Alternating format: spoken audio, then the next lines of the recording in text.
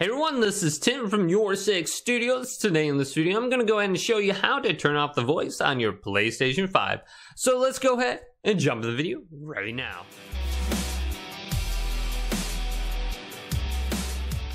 So you just got your PlayStation 5 and you're going through the setup process and all the text on the screen is being read out loud and this can get a little bit annoying. How can you go ahead and turn this off completely? Let's go over my PlayStation 5 right now and I'll show you the setting to do this.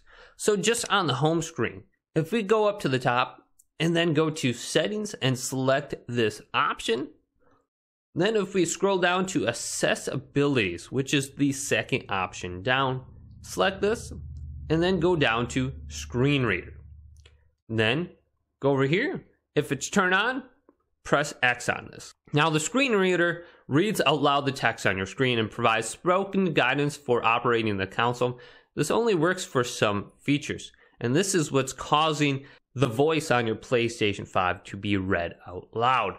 So just make sure this is off and you'll be good to go. And you won't have a voice reading out loud text on your PlayStation 5 anymore. So if this quick tutorial video did indeed help you guys out, go ahead and leave it a big thumbs up and subscribe to my channel down below for more PlayStation 5 tech up videos coming up next on Your Six Studios.